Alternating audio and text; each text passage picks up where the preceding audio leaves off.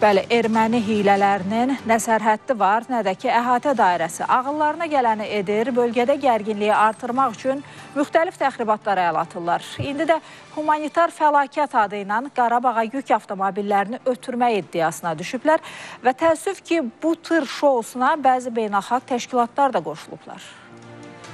Qarabağda erməni separatizminin kökünün kəsiləcəyini gözləsək də çox təəssüf ki, onun daha da çiçəklənməsi üçün var qüvvəsi ilə çalışan müdafiəçilərin çoxluğu işin heç də asan olmayacağını işarə eləyir. Bu işdə onlara yardımçılar sırasında Ermənistan hökuməti ilk sıralarda yer tutur. Qaşınmayan yerdən qan çıxarmağa çalışan bu teqranoidlər indi də Qarabağda qanunsuz erməni birləşmələrinin güya ki dırnaqarası humanitar böhranın dərinləşməsi ilə bağlı çağırışlarına səs verərək ora yardım karvanı göndərmək sevdasına düşüblər. Halbuki hər hansı humanitar böhrandan söhbət belə gedə bilməz. Ermənistanın bu cəhdi isə sadəcə siyasi spekulyasiya, şantaj və beynəlxalq ictimaiyyət üçün hazırlanan şoudur. Onlar bu şounu düzəltməklə beynəlxalq aləmə səs salmaq və regionda müxtəlif təxribatlara rəvac verərək sülh danışıqlarını birdəfəlik pozmaq istəyirlər. Ermənistan tərəfi çox gözəl ə, başa düşürdü ki, ə, onların bu ə, şouya Azərbaycan reaksiyası nə olacaq? Əslində biz dəfələrlə demişik ki, bu cür addımlar Azərbaycan tərəfi ilə mütləq və mütləq şəkildə razılaşdırılmalıdır və yalnız Azərbaycan tərəfinin razılığı alandan sonra erməni tərəf Laçın ə, nəzarət keçid məntəqəsi ə, vasitəsilə ə,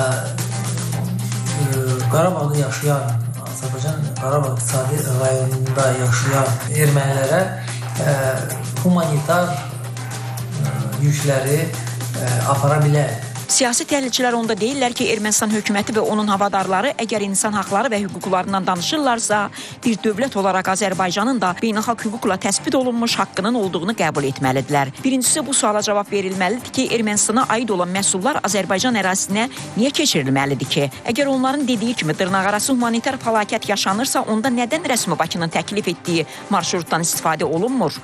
Bu inat, bu prinsipin arxasında nə dayanır? İndi ə, həm Ermənistan tərəfi həm ə, müxtəlif vasitəçilər beynəlxalq təsisatlar başa düşməlidirlər, bilməlidirlər ki, reallıqlar dəyişilir.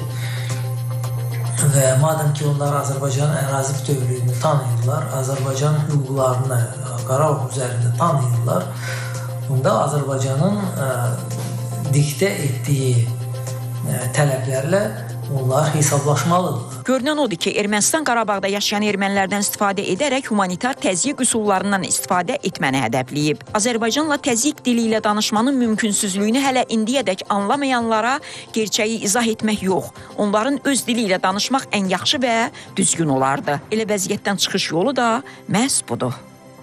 Bəturə Nəbiyeva, Pərvizi Bişov Space.